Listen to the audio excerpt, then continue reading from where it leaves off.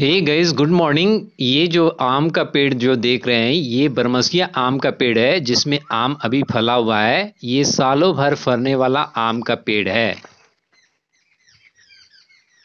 तो आप देख सकते हैं, जनवरी महीना चल रहा है 2024 में अभी भी आम फला हुआ है, जाड़े का महीना है।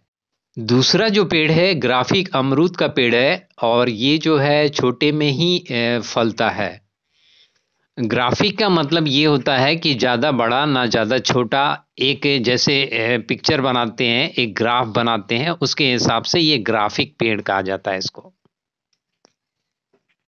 थर्ड जो पेड़ है, वो है ग्राफिक नारियल का पेड़ है, जो कि आप देख सकते हैं। इस पेड़ की खास बात ये है कि ये चार साल के अंदर ही फल ले लेगा। फोर्थ जो पेड़ है, वो मौसमी का पेड़ है। ये भी ग्राफिक पेड़ है, जो कि ग्राफिक की मैं परिभाषा आपको बता चुका हूँ। ग्राफिक का मतलब होता है, एक बुक में जैसे हम ग्राफ बनाते हैं, प्रॉपर तरीके से, ना ज़्यादा बड़ा, ना छोटा तो एक ग्राफ के हिसाब से ये ग्राफिक पेड़ होते हैं। तो आप देख सकते हैं, ग्राफिक पेड़ है, जो कि फल लिया हुआ है। ही गैस हमारे फार्म हाउस में तो ऐसे बहुत सारे पेड़ है, बट इन चारों में से बेहतर कौन सा है, आप कमेंट बॉक्स में ज़रूर लिखिए।